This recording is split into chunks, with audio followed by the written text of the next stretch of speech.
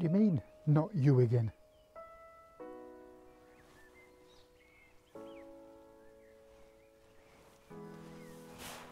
That tree, that tree is getting a little bit too familiar. Not you again. Would have been here five times, three times in the last month. I hope this is not too grainy. I've been changing some settings on my camera and for some reason I've got to set it to 64,000 ISO to get a decent exposure when I'm videoing. So something's gone wrong there.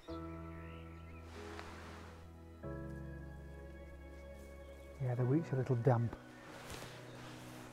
I'm going to go to the left hand side of the tree as you can see it. I think the theme today is going to be repetition mentioned before about getting to know your camera. And over the last six months since I got my OMD I've really programmed my camera so I know intuitively where things are.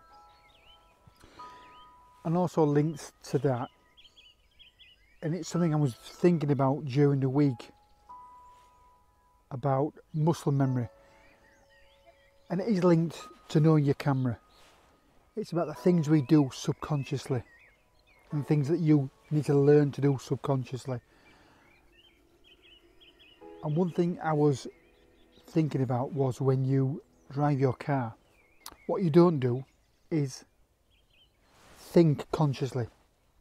I get my keys, walk to my car, I'll press the button to open, open the door, I'll open the door, I'll get in, I'll sit down, I'll close the door, I'll put the key in the ignition, I'll turn the ignition, these things you don't think about.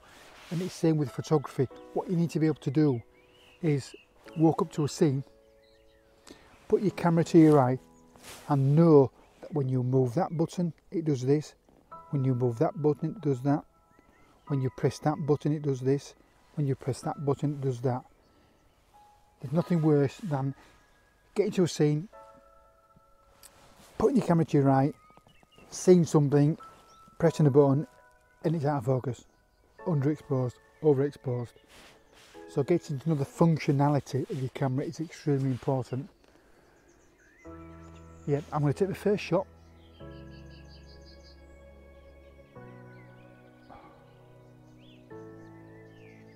I watched a video last night, one of many.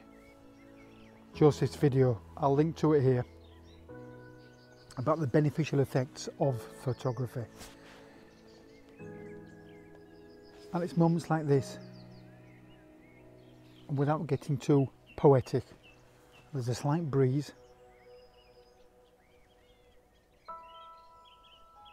There's a dawn chorus.